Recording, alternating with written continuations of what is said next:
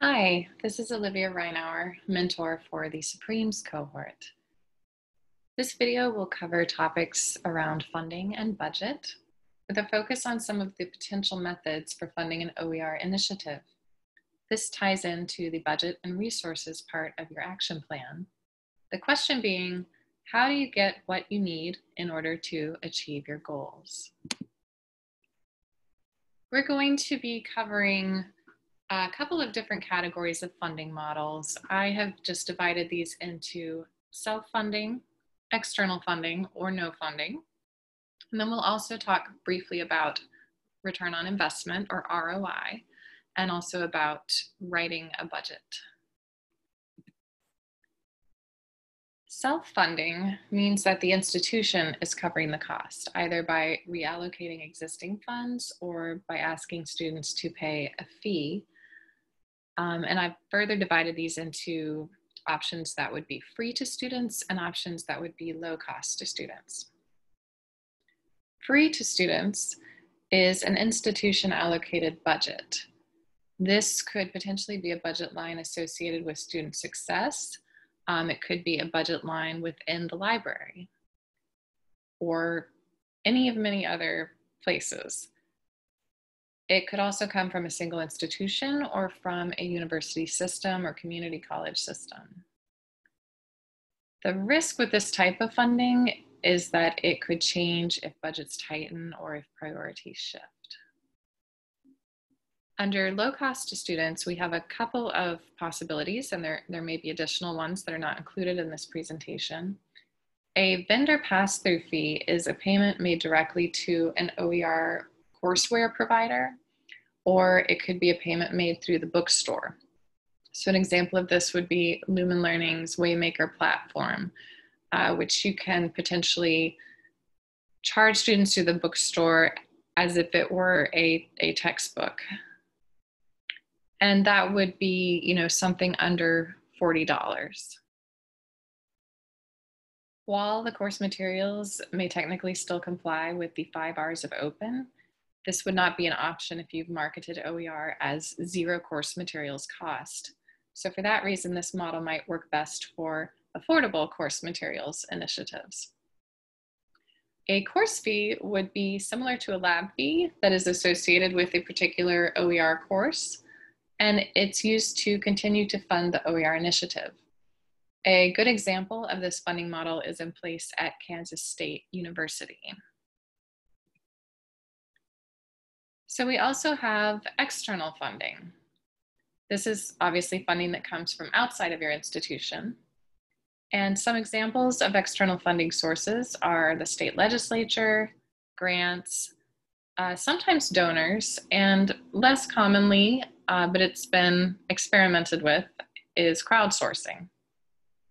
Uh, these are a great way to kickstart an OER initiative but because it's typically one-time funding or limited time funding, a, a sustainability plan really needs to be in place for when the funding ends. We are not going to explore any of these funding sources in depth in this presentation, but do keep in mind that you can be creative when applying for grants or requesting other sources of external funding. Uh, you don't have to just look for opportunities that are specific to OER.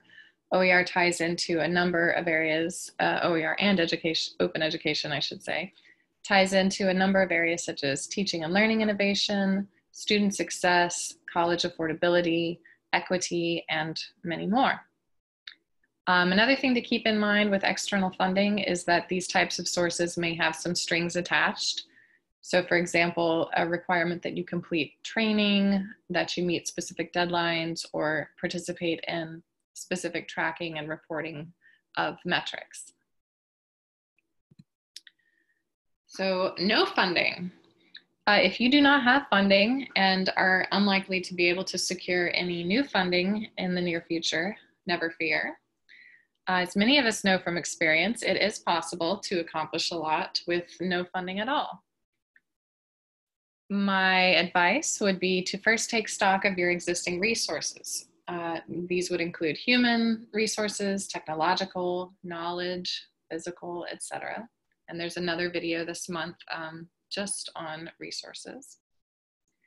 There are usually also at least a small number of librarians and faculty who are willing to work on an OER initiative solely based on interest and enthusiasm. And these trailblazers can often lead the way for others. Uh, you can also consider non-financial incentives that might appeal to your stakeholders.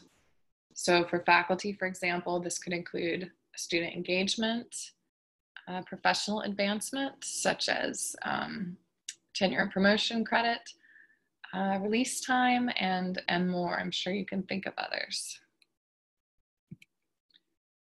For additional information on some of these funding models that we've discussed, I recommend taking a look at the OER Champion Playbook and the OER Field Guide for Sustainability Planning. And both of these links are included in the information accompanying this video in the online course module. These are some suggested questions to ask yourself when thinking about funding. Um, so the first one is, which funding models has my institution already used? What has been successful? And how can we ensure that our OER initiative is sustainable? And then if you do not have any funding for OER, what are some possible models or sources for your institution? And something that you could do if you are seeking inspiration is to consider looking back at your OER crush or crushes and seeing uh, the type of funding that they have adopted. All right, so this slide looks a little dense, but we are, it's mostly just resources. Um, when talking about attempting to secure funding, it's probably important that we at least touch on ROI or return on investment. There is still uh, more research, I think, needed in this area in relation to OER, but some examples are listed on this slide, um, and also examples of, of how you may be able to try to demonstrate some return on investment for your OER initiative. Um, if you're able to do that, it's a terrific uh, talking point when you're seeking funding and uh, from your administration. Oh, and I should say that these links are included in the video description as well in the online course module. And finally, budget. Although um, the word budget is in the title of this presentation, we're actually not going to spend a lot of time on how to construct a budget. And that is because there really is no one correct way. And what works for each of you is going to vary widely depending on your funding and your individual action plan. So one way to approach the budget portion of your action plan would be to complete your SMART goals and your action items, and then estimate costs, if there are any, for each of, of those items, and just work from there.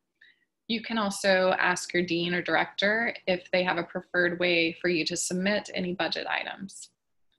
If you do not have any money to budget, you can consider writing up a potential budget just in case a funding opportunity falls in your lap. Or you can focus more on your existing resources and discuss those and how those will be deployed, or even um, just include a plan for how you might try to secure funding in the future. So we do have uh, an activity associated with this funding and budget presentation. In preparation for this month's cohort meeting, consider completing it. Um, it's just a brief form, so it's, uh, shared in the video description. It's just called the Funding Budget and Grants Activity.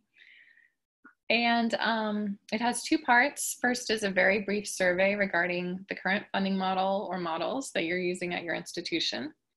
And then the second part is called Making an Ask, which you can also think of as how to get what I need. And this is a short written activity that will guide you through some brainstorming about making an ask for funding or for a particular resource need. And uh, you will receive an emailed copy of your responses that you can refer to in your August cohort discussion. Thank you so much. And please uh, feel free to let me know or your cohort mentor if you have any questions at all.